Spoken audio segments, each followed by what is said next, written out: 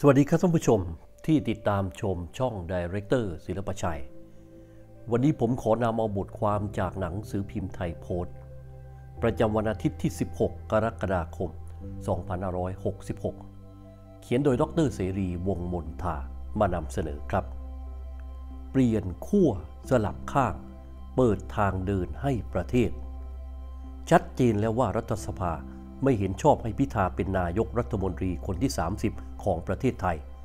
แต่เจ้าตัวบอกว่าวุฒิสมาชิก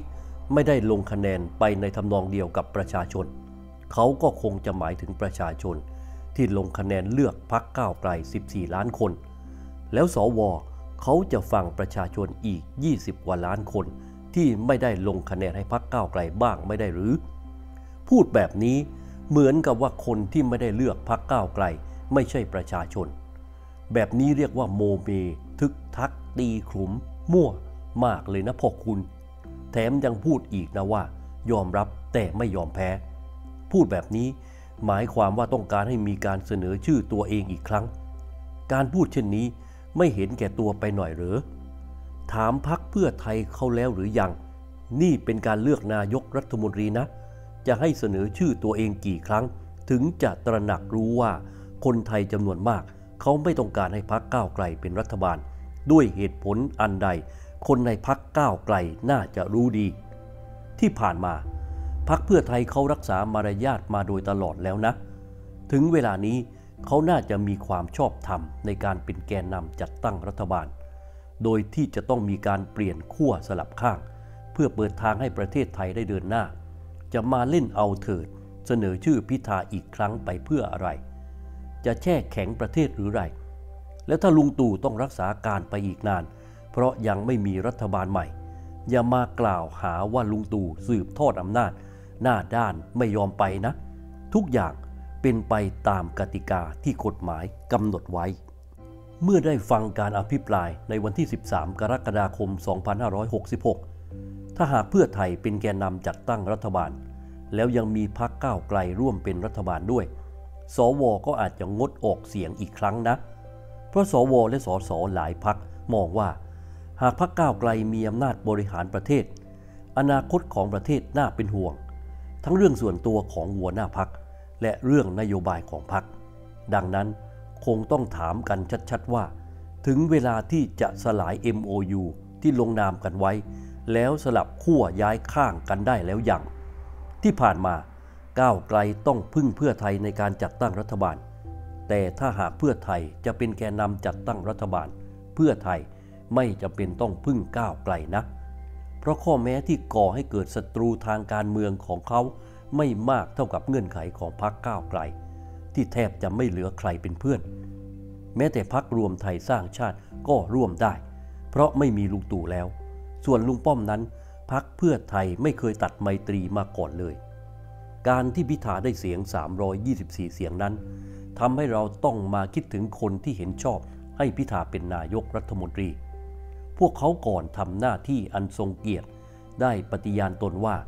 จะทำหน้าที่ด้วยความซื่อสัตย์สุจริตจงรักภักดีต่อชาติ ศาสตร์กษัตริย์ แต่พวกเขายังเห็นชอบให้หัวหน้าพักที่มีนโยบายเป็นปรปักษ์ต่อสถาบันพระมหากษัตริย์ มาเป็นนายกรัฐมนตรี โดยอ้างว่าทำตามเสียงประชาชน อ้าง 14 ล้านเสียง ทั้งทั้งที่เสียงประชาชนที่เลือกพักนี้เป็นแค่ 30%ของผู้มีสิทธิ์ลงคะแนน มันไม่ใช่เสียงข้างมาก เพราะไม่ได้เกินกึ่งหนึ่ง แต่ก็มีวายอ้างการรวมเสียง 8พักว่าได้มากกว่า 70%การที่รวมเสียง 8พักได้ 70%ก็ไม่ได้หมายความว่าอีกจำนวนหนึ่งที่มารวมด้วย เขาอยากได้พิธาเป็นนายกรัฐมนตรีนะ ใครลงคะแนนพักเลือกพักใด เขาก็อยากให้หัวหน้าพักที่เขาเลือกเป็นนายกรัฐมนตรีกันทั้งนั้น อย่าทึกทัก อย่าโมเม อย่าตีขลุ่มเลย ว่าทั้ง 70%ของคนที่ไปลงคะแนนเลือกดังนั้น อยากให้พิธาเป็นนายกรัฐมนตรี ในการให้เหตุผลว่าทำไมถึงลงคะแนนเห็นชอบให้พิธาเป็นนายกรัฐมนตรี ก็อ้างแต่ว่า เพราะพักก้าวไกลได้คะแนนเสียงมากกว่าพักอื่น แต่ไม่ได้คิดต่อว่า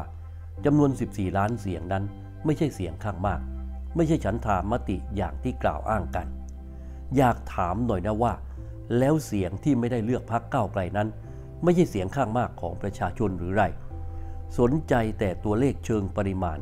ไม่สนใจนโยบายที่น่าเป็นห่วงกันบ้างเลยหรือ อย่ามองแต่เชิงปริมาณ ควรจะมีการพิจารณาเชิงคุณภาพบ้าง จะได้เห็นกระจ่างขึ้น ลองเอานโยบายของพรรคก้าวไกล ไปพินิษพิเคราะห์ดูให้ละเอียดบ้างเถอะ แล้วมองไปให้ไกลว่า ถ้าหาพรรคก้าวไกลได้เป็นใหญ่ มีอำนาจในการบริหารบ้านเมืองจะมีอะไรเกิดขึ้นบ้าง สถาบันพระมหากษัตริย์จะเป็นเช่นไร นโยบายต่างประเทศจะทำให้ประเทศไทยเข้าสู่วังวนของความขัดแย้งหรือไม่ ขนบธรรมเนียมประเพณีของประเทศ อันเป็นวัฒนธรรมที่ดีงามของประเทศจะเป็นเช่นไร การใช้เสรีภาพของเด็กๆจะเป็นเช่นไร การเงินการคลังของประเทศจะเป็นเช่นไร ถ้าหากไม่เคยไตร่ตรอง ไม่เคยศึกษา ขอให้ไปศึกษาดูก่อนที่จะลงคะแนนอีกครั้ง การลงคะแนนที่ผ่านมา อยากถามว่าท่านไม่เคยเอานโยบายของพรรคก้าวไกล ไปคิดพิจารณาเลยหรือท่านไม่สนใจที่จะคิด เพราะคิดเอาเองว่ามันไม่ใช่หน้าที่ จะออกเสียงตามเสียงข้างมากที่เป็นเชิงปริมาณเท่านั้น อายุก็มากกันแล้วนะ วุฒิภาวะน่าจะดีกว่านี้หรือเปล่า หรือว่าท่านได้นำเอานโยบายของพรรคก้าวไกล มาคิดพินิษพิเคราะห์แล้ว และท่านก็เห็นด้วยกับแนวนโยบายของพรรคก้าวไกล ถ้าเช่นนั้น เราก็ไม่ขอพูดอะไรแล้ว เพราะเราไม่อาจสรรหาคำที่ต่ำพอมาสาธยายพฤติกรรมของท่านได้ ที่เราเคยมองว่าท่านเป็นคนดี มีคุณธรรม มีจริยธรรม เราก็ขอมองใหม่ในทางตรงกันข้าม แต่อย่างไรก็ตาม คนมีตำแหน่งอันทรงเกียรติอย่างพวกท่าน คงสูงเกินกว่าจะสนใจว่าใครรักหรือใครชังสินะ ถ้าสุวรรณเลขาของพญายมมีจริง ตอนนี้ชื่อของพวกท่านคงถูกจารึกไว้บนบัญชีหนังหมาแล้วนะ แต่ถ้านรกไม่มีจริง หลังความตาย พวกท่านก็คงตกนรกทั้งเป็น เพราะสายตาของผู้คนที่จำได้ว่าท่านลงคะแนนอย่างไร คงไม่มองหน้าท่านอย่างเป็นมิตรแน่ ๆ ถ้ามีเพื่อนที่มีความคิด มีทัศนคติเหมือนกับท่าน ก็จงรักษาไว้นะ เพราะเพื่อนของท่านที่มีความจงรักภักดีต่อชาติ ศาสตร์กษัตริย์ อาจกำลังคิดว่าจะเลิกเป็นเพื่อนท่านก็ได้นะ หรือว่าท่านจะบอกว่าท่านไม่สนใจว่าใครจะเป็นเพื่อนหรือไม่เป็นเพื่อนกับท่าน ก็เอาตามที่สบายใจก็แล้วกัน ส่วนพักการเมืองอีกเจ็ดพักที่มาร่วมลง MOU ด้วยกันนั้น ท่านคงต้องเอาเรื่องราวของการอภิปราย ในวันที่ 13 กรกฎาคม 2566 มาพิจารณาให้ดีนะ ว่าจะทำตามข้อตกลงใน MOU โดยเฉพาะเพื่อไทย เปลี่ยนขั้วสลับข้างไหมคะ ศิลปชัยเดลี่ เรามีเรื่องราวดีๆ จากหนังสือพิมพ์ไทยโพสต์ เขียนโดยดรเสรีวงศ์มนทามานำเสนอทุกวันอาทิตย์ สวัสดีครับสำหรับผู้ที่ชื่นชอบกระเป๋าผ้า ซึ่งทำจากผ้าทอญี่ปุ่น และผ้าลิขสิทธิ์ เน้นความประณีตสวยงามอย่างมีระดับ เป็นงานทำมือนับได้ว่าเป็นงานหนึ่งเดียวในโลก